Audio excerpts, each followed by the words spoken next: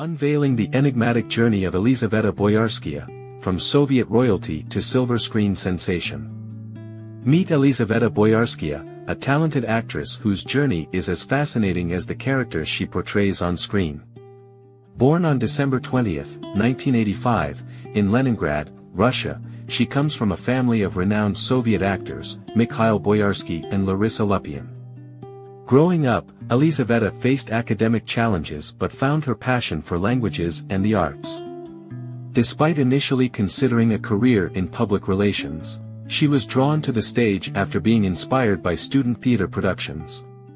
With the support of her family, she pursued acting, eventually studying at the St. Petersburg State Theatre Arts Academy under the guidance of Lev Dodin. Her career began to blossom with roles in films like National Security Agent 3 and Downfall, showcasing her acting prowess. She gained widespread recognition with her performances in The First After God and Park of the Soviet Period. Notably, she starred alongside her father, Mikhail Boyarsky, in You Will Not Leave Me, further solidifying her place in the industry. Despite facing conflicting roles, such as in The Return of the Musketeers, Elizaveta continued to shine in diverse projects like The Admiral, Sherlock Holmes, and Anna Karenina, Vronsky's story. Beyond the silver screen, she lent her voice to beloved characters in animations like Three Heroes on the Distant Shores and Sheep and Wolves, showcasing her versatility.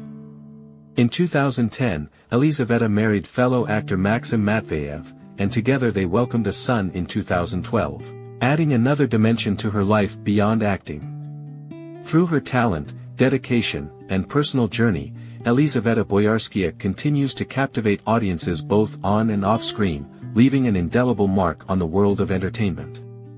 Join us as we explore the life and legacy of this remarkable actress on The Snuffer YT.